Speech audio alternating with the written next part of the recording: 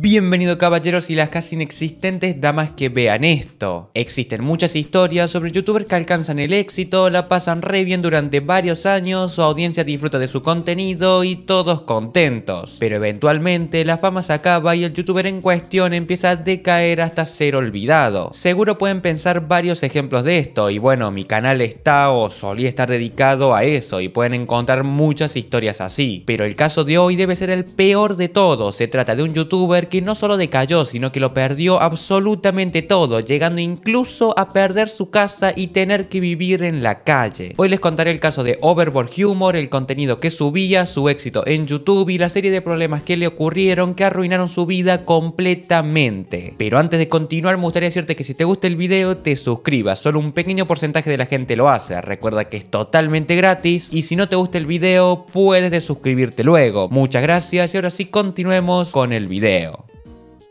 Garrett García, más conocido como Overboard Humor, era el típico youtuber estadounidense de bromas y vlogs que salía a la calle y molestaba a la gente. Empezó su carrera como youtuber en el año 2011, siendo uno de los primeros youtubers en crear este tipo de contenido y actualmente cuenta con más de un millón de suscriptores, por lo que podemos concluir que le fue bastante bien. En ese entonces, los youtubers de bromas no contrataban actores, sino que hacían sus pequeños troleos a desconocidos. Y como ya hemos visto, hacer bromas a desconocidos no es lo mejor que uno pueda llegar a ser, pero repito, este sujeto fue uno de los primeros y al ser algo muy nuevo la gente lo miraba con buenos ojos. Videos como finjo tomar cloro en el supermercado o broma en auto solo el vaso, en el que iba a diferentes franquicias de comida rápida, pedía comida y la tiraba enfrente de los trabajadores, provocando que estos tuvieran que salir de sus puestos a limpiar su desastre. Un estilo de broma que se hizo muy popular en su canal era acercarse a una persona random y gritarle comentarios de sus seguidores. El video más popular de su canal trata de este tipo de bromas y alcanzó más de 87 millones de visitas. A veces decía cosas un poco subidas de tono, como qué ganas que tengo de cogerme a un caballo o me gustan tus tetas, cásate conmigo, por favor. Solo imagínate que un sujeto se acerca a ti de la nada y te dice, cuando nací mi madre nunca me hizo la circuncisión, tengo caca en mi bolsillo, duermo desnudo o simplemente sexo. Sí, hay una broma en donde literalmente solo grita sexo. Sex? Sex? Pero no era el único participante de estas pranks, su novia llamada Ashley también aparecía en alguno de sus videos haciendo las mismas estupideces que Garrett. Incluso llegó a tener una hija con ella que también apareció como no en sus videos.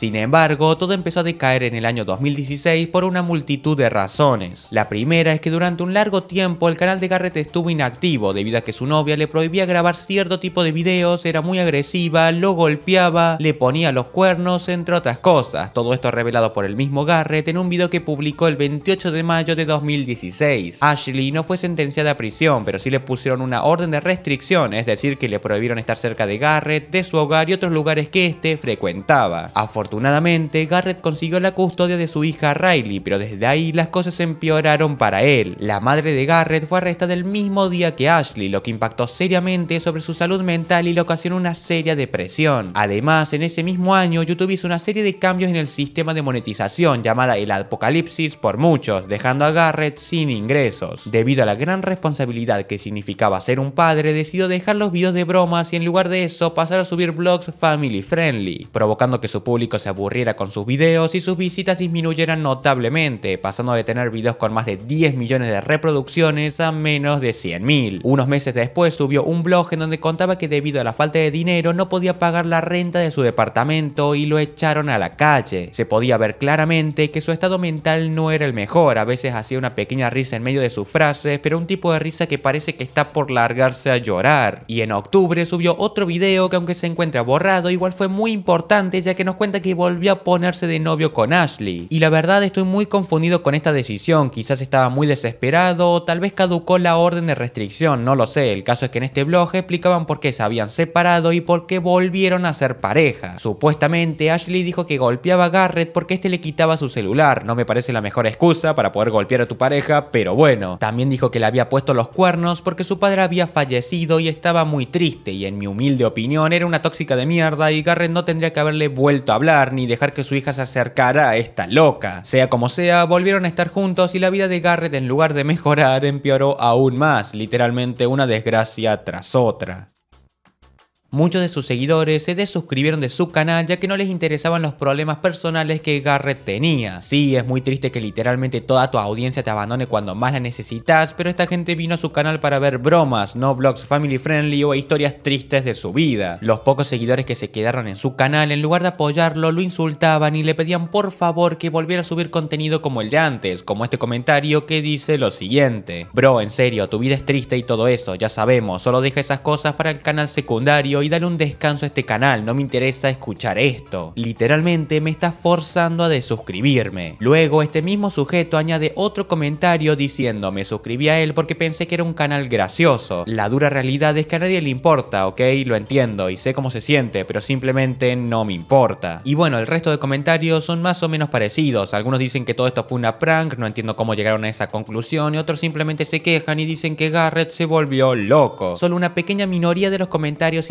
intentaba defender y apoyar a Garrett, pero lo cierto es que a la mayoría no le importaba su vida. Garrett volvió a romper con su novia, esta vez para siempre, y dado que ya no tenía un hogar en el que quedarse, se mudó con un suscriptor. Tuvo que vender muchas de sus posesiones para poder sobrevivir, incluida su placa del millón de suscriptores. Y aunque nunca más volvió a ver a Ashley, esta se quedó con la custodia de su hija. En un intento desesperado, volvió a subir videos de bromas como antes, solo que esta vez eran todos en la playa. Quizás quería hacer clickbait con los cuerpos de las mujeres, pero tristemente no funcionó y apenas consiguió visitas. Eventualmente, específicamente en 2019, su suscriptor lo echó de su casa por razones que jamás hicieron públicas. Se volvió indigente y empezó a vivir en medio del bosque, donde se dedicaría más que nada a hacer directos hablando de su vida.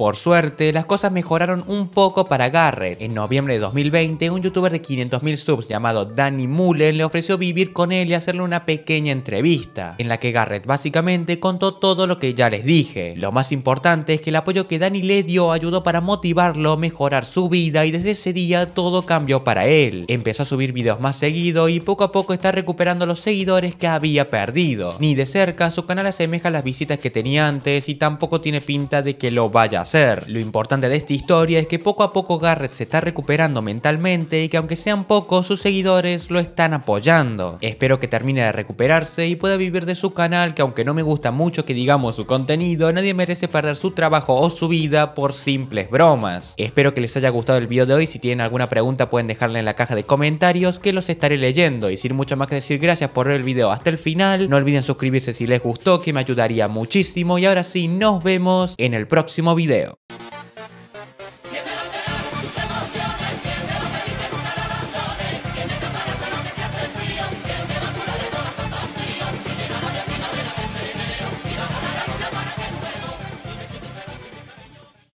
Hace mal la Monster, comenten, ¿tiene alcohol? Hace mal a los niños, ayuda.